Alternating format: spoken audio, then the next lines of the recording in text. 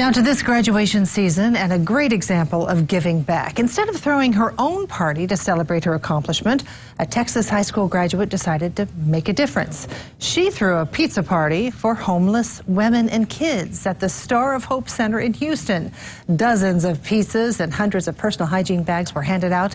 The teen says that she wanted to make sure they knew that someone cared.